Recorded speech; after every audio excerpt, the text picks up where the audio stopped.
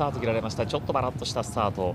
あんまりスタートが良くなかった。ドラムライムとマーベリックシティ後方からという感じか。あとはダンスパルスがややスタートがよくありませんで一番後ろ置かれるような格好になりました。先行争いは4番の名将キルギスがいって2番手にはアーロン・イメルです。3番手内からモズナイスバディ外を通りましてミグラテール。さあ1番人気のルディックですが現在先団の一番後ろのポジション。67頭を見るような格好で1コーナー2コーナーへと向かっていきます。先頭は名将キルギスリードは1馬身くらい。2番手に続いたアーロン・イメル外から上がっていったのがえー、ここにいるのはピンクの帽子のドラムライムです。それから間の方にはミグラテールも続きまして前4頭が一塊。その後ろ23馬身切れましてモズナイスバディが続きました。その直後にエナモーニンがいてそのうちに一番人気のウルディックとみゆき秀明が続きました。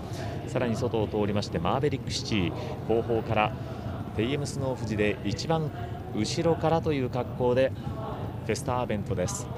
さあ 1000m 通過は64秒2とそれほど速いペースではありません。依然として前56頭が一塊です。先頭はまだ名称キリギスですが外の方から徐々に上がっていこうかというアーロン・イメル。さらには一番外からはマーベルクシーが3番手までポジションを上げてきました。さらにこれを追ってモズ・ナイスバディがいて人気のルディックはまだ5番手。さあ2列目の一角ですが4コーナーから直線を向いてくる前は3頭です。名将キルギスそして前真ん中にアーロン・イメルで外を通ってマーベリックシティその外。現在4番手にルディック一番外からはエナモーニン追い込んできますがまだ前粘っている名将キルギス先頭だ。残り200を切ってリードはまだ2馬身から3馬身逆に広がったか。2番手にはアーロン・イメル3番手上がってきた1番人気のルディックですがまだ前までは4馬身くらいあります。内で粘る名将キルギス追ってくる2番手ルディック上がってくるが届かない。